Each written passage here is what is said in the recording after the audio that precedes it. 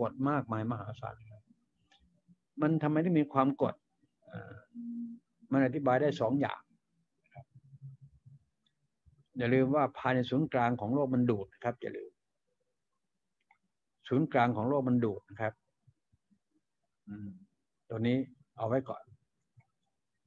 ขณะนี้กันชั้นบรรยากาศจนกระทั่งถึงอวกาศ อากาศมีน้ำหนักนะครับ น้ำก็มีน้ำหนักนะครับ น้ำหนักของอากาศบวกกับน้ำน้ำมันทับลงไป หาศูนย์กลางของโลก มันจึงมีความกดดันสูงมากเห็นไหม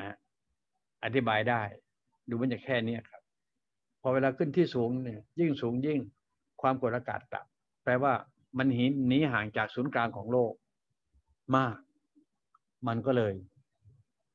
มันก็เลย อากาศก็คือกดน้อย หรือมันห่างจากจุดศูนย์กลางมาก แรงแรงแรงดูด คือรัศมีที่มันไกลอะเนาะมันก็ทำให้แรงดูดน้อยนั่นเองสรุปก็คือ ยิ่งใกล้จุดศูนย์กลางมากเท่ากับเท่าไหร่ยิ่งมีแรงดูดมากเท่ากับเท่านั้น เมื่อมีแรงดูดมากเท่ากับเท่าไหร่ยิ่งมีแรงดันมากเท่ากับเท่านั้นเช่นเดียวกัน ดูดเท่ากับดันนะดูดเท่ากับดัน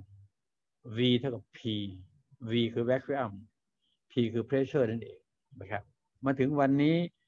เมื่อวันก่อนนี่ลุงพูดก็ว่าความร้อนใช่ไหมฮะ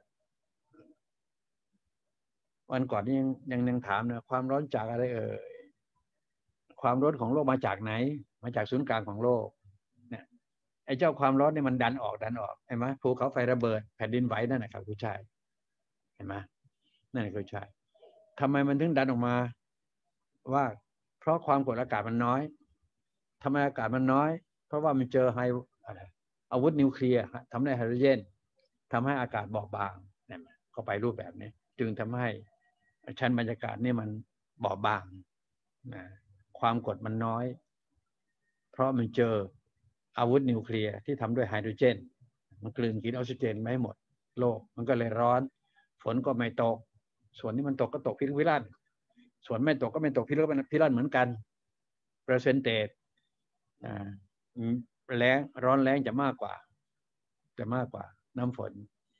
แต่ถ้าหากว่าข่าวคราวโลกไปนี้เนาะข่าวคราวโลกไปนี้นะเดี๋ยวหิมะเดี๋ยวฝนจะด้วนมากนะครับ แต่ภาพรวมและความร้อนยังมากกว่า อุณหภูมิเพิ่มขึ้น เพิ่มขึ้นนะครับ ภาพรวมคืออุณหภูมิมันเพิ่มขึ้นเพิ่มขึ้น ก็แปลว่า ในภาพรวมทั้งหมดนั้นอุณหภูมิมันเพิ่มขึ้นของโลกไปนี้แม้ว่าจะมีฝนตก น้ำท่วมจะมีหิมะลงเห็นไหมครับ แต่ภาพรวมแล้วอุณหภูมิยังเพิ่มขึ้นอยู่เห็นไหมครับ มันก็เป็นแนวทางอย่างนี้ถ้าหากว่าจะมีการสรุปในการประมวลอย่างที่ว่านี้ให้ได้กรุณาพิจารณาตามลองดูซิประมาณนั้นอย่าลืมนะลุงไม่ใช่นักวิทยาศาสตร์นะอย่าลืมไม่ใช่ทั้งนั้นเลยแหละครับลุงไม่ใช่นักวิทยาศาสตร์ลุงไม่ใช่ นัก อะไร ไม่ใช่ทั้งนั้นแหละครับ